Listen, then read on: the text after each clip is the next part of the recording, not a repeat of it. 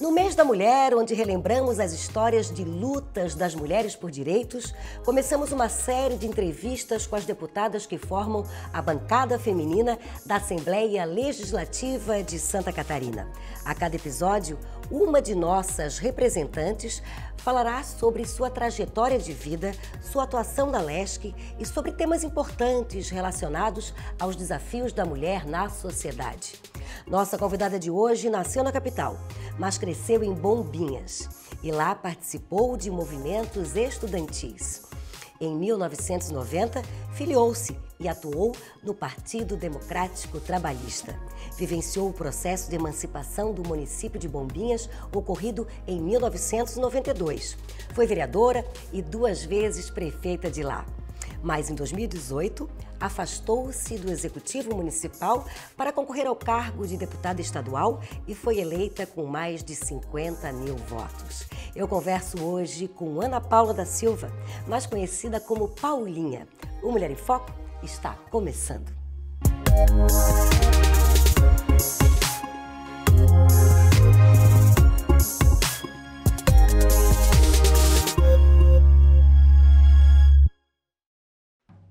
Ana Paula da Silva é natural de Florianópolis, mas adotou bombinhas desde sempre.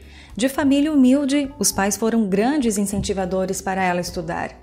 Participou do movimento estudantil, integrou a juventude socialista e participou de vários movimentos sociais.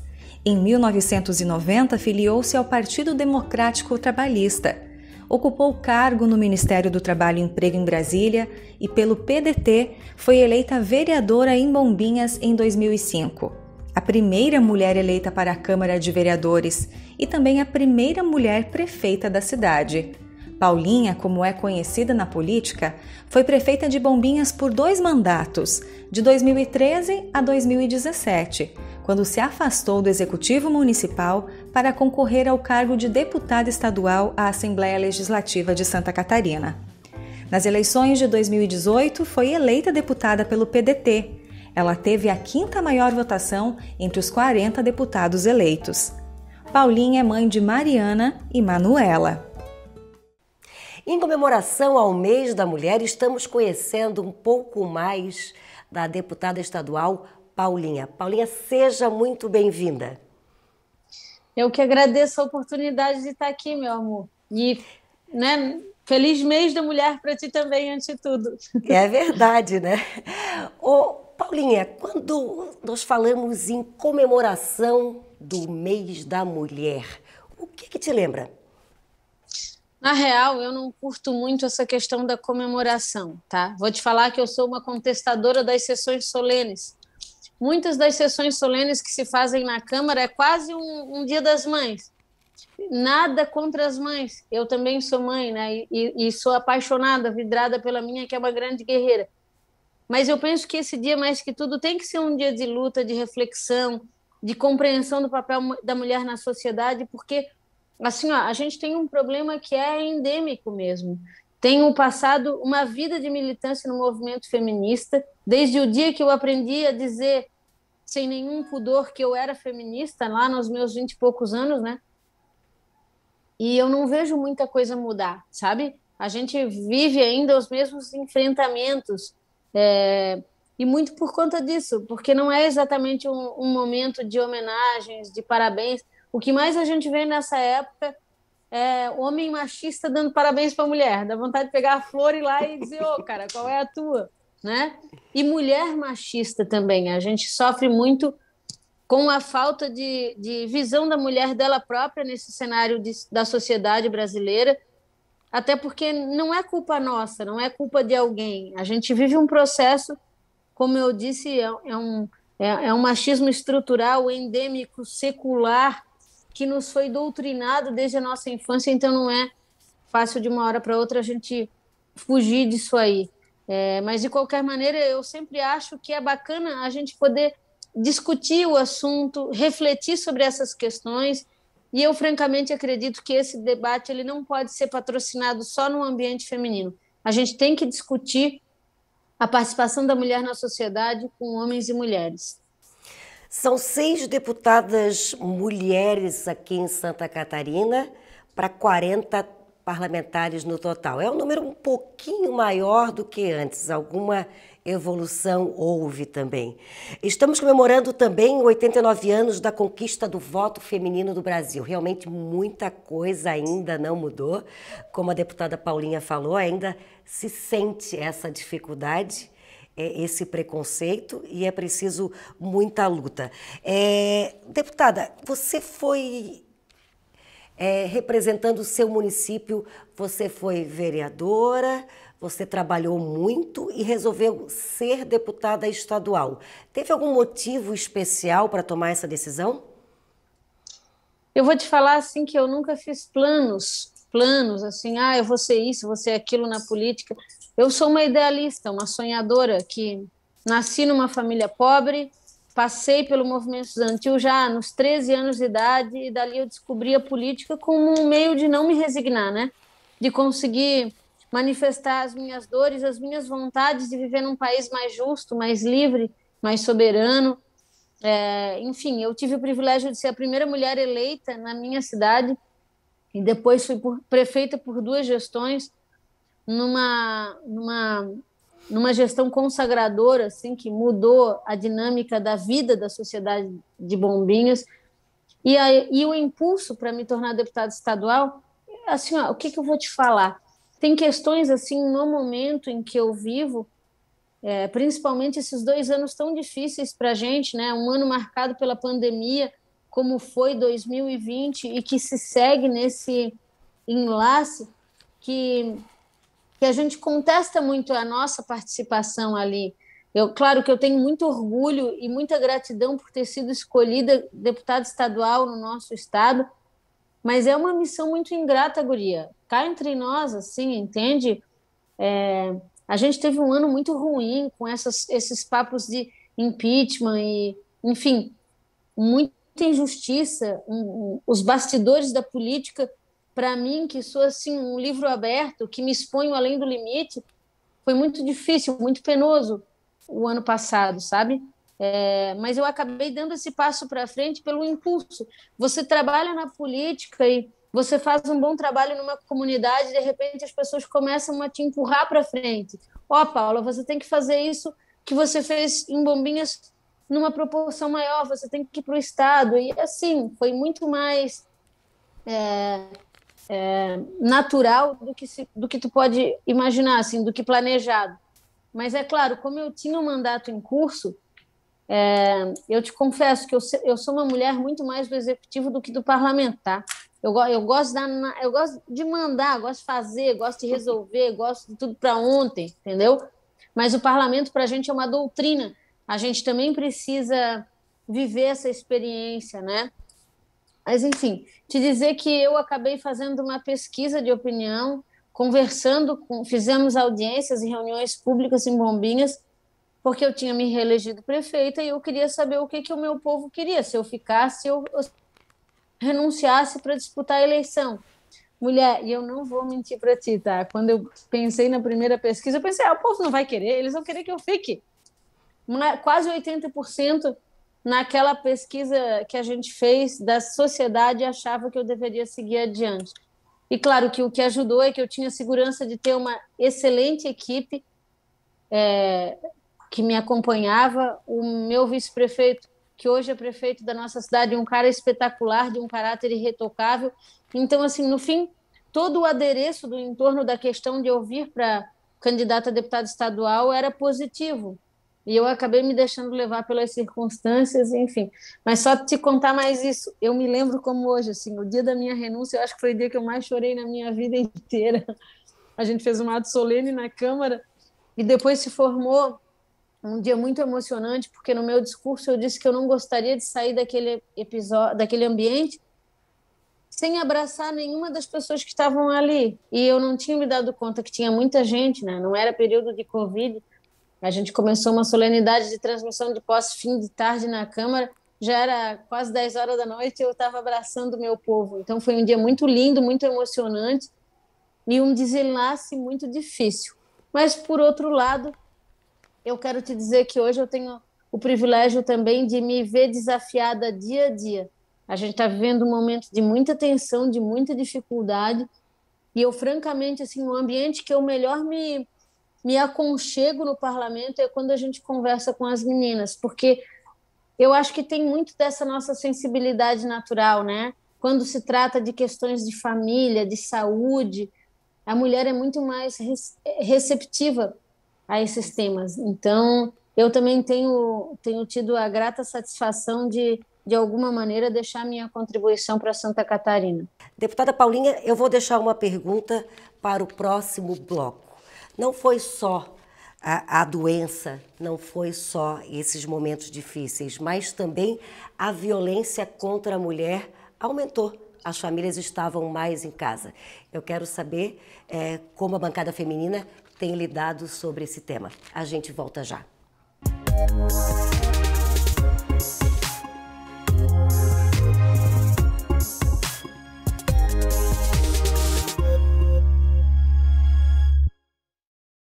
seguimos o Mulher em Foco. Deixamos uma pergunta no primeiro bloco para a deputada Paulinha. Deputada, além da pandemia, muitas famílias estão unidas em casa é, e aumentou a violência contra a mulher. Filhos sem aula, muitas mulheres sendo prejudicadas também profissionalmente, porque tem que ficar em casa cuidando dos filhos.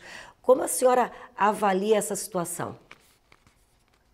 Bem, assim, primeiramente, é, nós todos, eu acho, o Brasil se viu em choque com esses números de, de agressões, violências e até morte de mulheres é, promovido durante esse período. A bancada feminina ela tem discutido esse tema com profundidade e nós estamos no nosso tempo nos engajando em diversas causas para tentar minorar é, esse impacto negativo que a pandemia nos trouxe, né? É, uma das, nós temos agora um conjunto de leis, mais de 20 proposições legislativas, na grande maioria projetos de lei que nascem das mãos das deputadas mulheres, mas alguns também de colegas homens, cujo propósito é discutir a, a situações para atenuar a violência contra a mulher. Desde programas de de amparo, de recuperação da mulher que sofre a violência, para que ela tenha uma opção, uma segunda chance, como uma iniciativa que visa a capacitação de todas as agentes comunitárias do, de saúde do Estado de Santa Catarina nesse quesito em específico. Porque porque primeiro, assim, é a agente comunitária de saúde, ela de fato, ela entra em todos os lares. Se ela tiver um treinamento adequado é, e ela conseguir perceber os sinais, ela pode ser uma porta de socorro para essa mulher que sofre a violência. Então, a gente tem tomado medidas nesse sentido. Temos também nos envolvido com questões que vão do observatório até mesmo ações diretas é, na rede Catarina. Há o projeto também da Polícia Civil de Proteção à Mulher, tem recebido, inclusive, financiamento das nossas mãos para, vamos dizer assim, amplificar o atendimento à mulher vítima de violência. Então, a gente está, vou te dizer assim, ó, a gente está atirando em todas as frentes, tá? Trabalhando muito mesmo para que a gente possa ter medidas de redução do impacto da violência contra a mulher. Deputada, tem um projeto seu que foi aprovado com unanimidade, que é sobre economia criativa em Santa Catarina. A senhora pode falar um pouquinho sobre ele? Então, é, esse foi o primeiro, olha que coisa legal. Foi o primeiro projeto de lei que eu protocolei em, no parlamento catarinense em 2019 ainda, Guria. Pensa, a gente protocolou o projeto logo depois de ouvir todos os agentes culturais, porque a gente tem um desafio aí quando fala de cultura. As pessoas acham que a gente está falando exclusivamente de uma atividade de lazer, de uma atividade complementar, muito valorada para alguns nesse aspecto, mas com pouco sentido ético no que concerne a valores econômicos. E o que, que acontece? Assim, a gente tem números extraordinários no Brasil e fora dele do quanto a economia criativa, de fato, pode ser um instrumento, inclusive, de recuperação, de auxílio na recuperação econômica das pequenas comunidades nesse momento de crise. Então, e a, e a economia criativa, na verdade, é isso: é o despertar para todos os valores que, de fato, é, esse setor pode consubstanciar na sociedade. E, enfim, o projeto de lei ele vem trazer esse, esse valor, é, mostrar para a sociedade catarinense, através de um instrumento legal, que a economia criativa precisa ser uma política levada a sério pelo Estado de Santa Catarina e, mais que isso, merece ter essa visão em razão dos, do, do, dos, dos, dos avanços que ela pode nos proporcionar. Ô, deputada, o que é a Escola de Líderes? Então, esse é um programa é, muito incrível que a gente acabou desenvolvendo aqui no gabinete, que tem como propósito estimular novas lideranças, especialmente prefeitos, vereadores, líderes comunitários, a seguirem no caminho mais assertivo nos seus objetivos. O Escola de Líderes é um projeto de, que reúne também o voluntariado e que também atua fortemente no terceiro setor, disseminando informação, conhecimento para que as pessoas sejam agentes públicos mais capazes. Basicamente é isso, se for te resumir. Mas é um projeto incrível, assim, a gente, ó, só tu vindo um dia aqui para assistindo uma aula nossa, participando do escola para tu saber. Realmente é um programa transformador, que além de tudo une corações e estabelece esse laço com as pessoas no em nome do bem comum. Deputada, é muito bom ver essa, esse olhar brilhando quando fala de, de alguma atuação né, que deu um bom resultado. Isso é, é, fascinante ver o seu olhar brilhando e feliz pelo sucesso de um projeto. A senhora foi a primeira mulher a ocupar a liderança de um governo estadual. Como foi e como tem sido essa experiência? Então, Guria, eu Primeiro, eu quero, eu, eu sempre começo deixando uma menção de gratidão ao governador Moisés, porque, assim, ó, eu sou de um partido absolutamente divergente do dele, né? É, um partido pequeno, com pouca expressão, mulher, e ele não olhou nada disso. Ele precisava de alguém para ajudar a dialogar com o parlamento, e naquele momento ele entendeu que eu podia contribuir e me deu essa oportunidade, essa chance. Então, eu sou muito grata a ele. Mas eu vou te dizer que os desafios são inúmeros, né? O sistema é...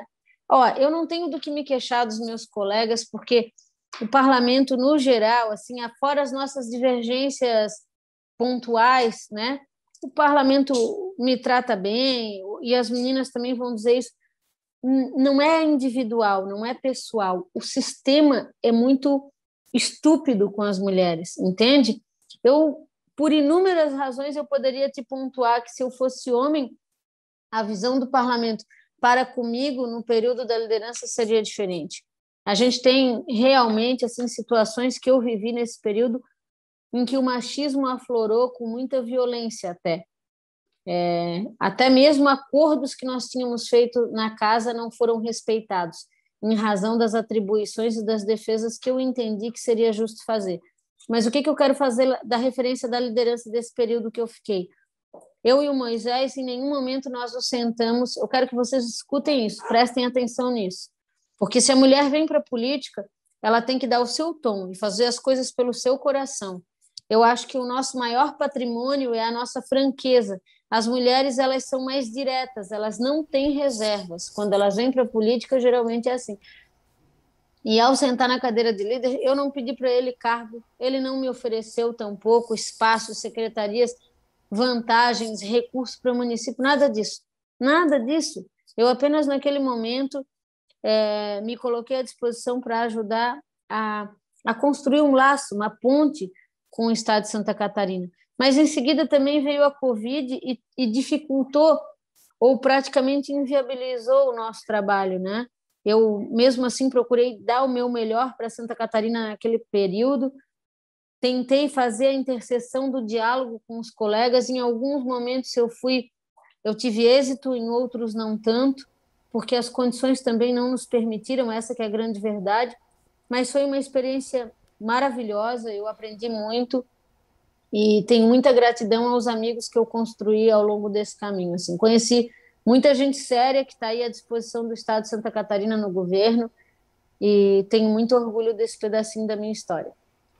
Deputada, quando a pandemia acabar né, e vai voltar assim o trabalho normal, ninguém mais será aquela pessoa que era antes. A senhora tem percebido que essa empatia está mudando o olhar para o, para o outro em todos os setores da sociedade? Vou te dizer com toda franqueza: se dependesse da lição a empatia ao próximo, para a gente ter o fim da Covid, vamos dizer, se fosse um caso espiritual, ah, olha, a humanidade precisa ser mais, mais, mais próxima dos seus, ela precisa exercer e praticar mais a caridade e tudo mais, eu ia dizer que a gente ainda perdeu na lição. Está muito longe do ser humano se tornar melhor por conta da Covid. Por Deus Nosso Senhor, eu estou te falando isso, assim, a gente ainda tem na Covid um ambiente de disputa, de agressividade, de intolerância, ah, se tem, se, se fecha é porque fecha, se abre é que as pessoas falam de um jeito, bom, vai ter lockdown, então vão matar as pessoas que, que precisam viver do trabalho, certo? Realmente é uma dificuldade, nós somos um país de terceiro mundo, mas vai manter aberto, então vai matar as pessoas porque não vai fazer isolamento social.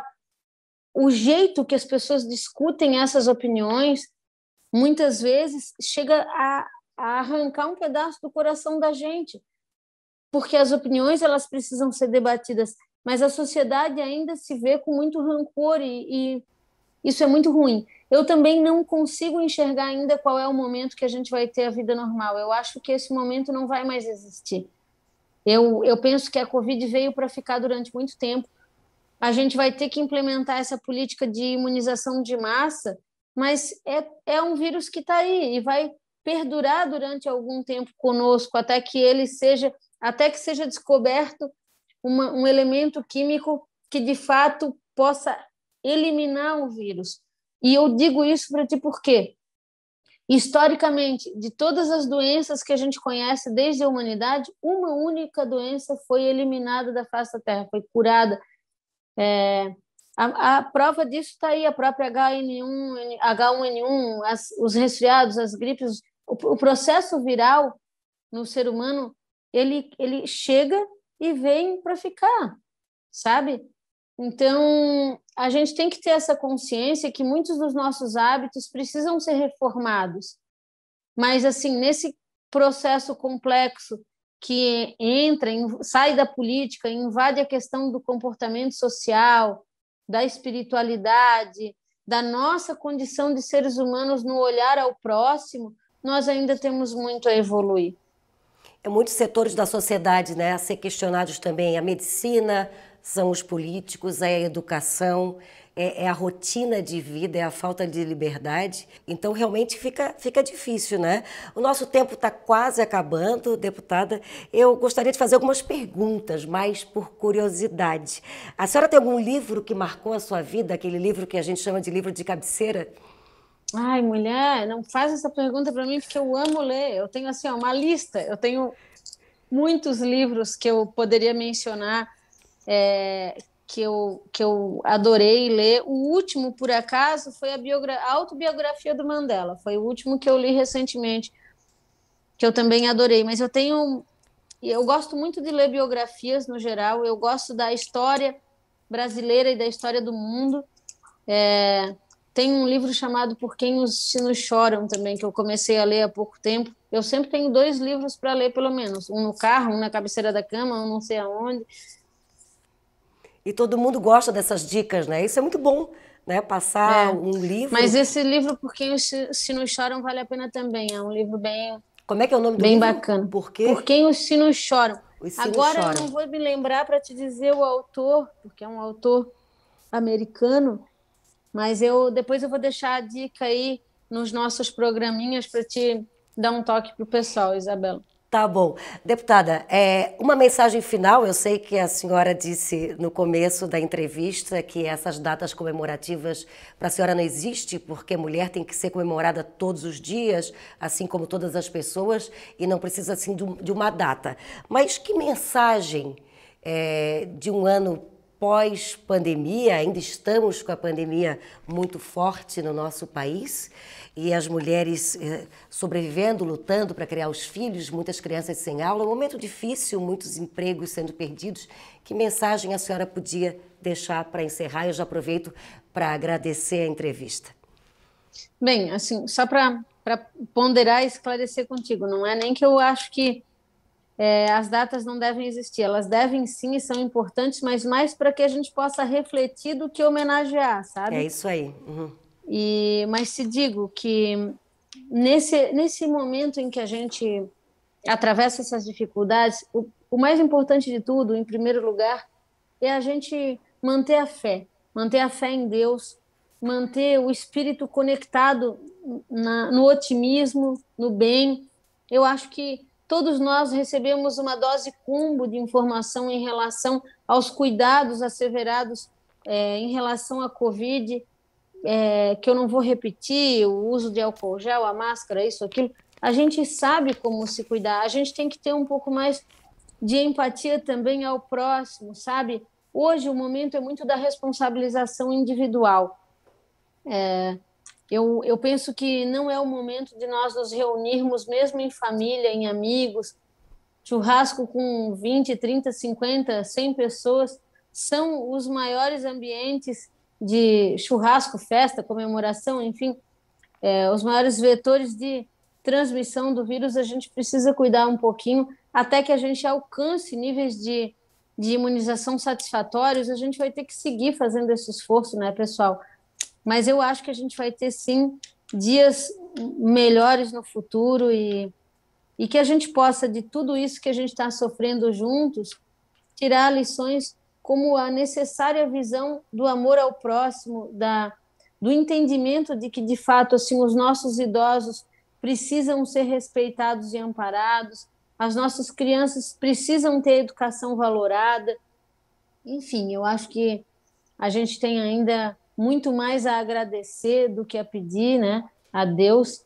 E mas se podemos com humildade pedir que ele permita que a gente vença essa etapa da Covid tão logo quanto possível para evitar, para para liquidar com esse sofrimento que tem trazido tantas famílias para esse momento de desenlace precoce de, dos seus entes queridos, né? No mais desejar a todas as mulheres então uma mensagem especial para elas que elas sigam nessa força vibrante, que nós sejamos mais generosas conosco, meninas, né?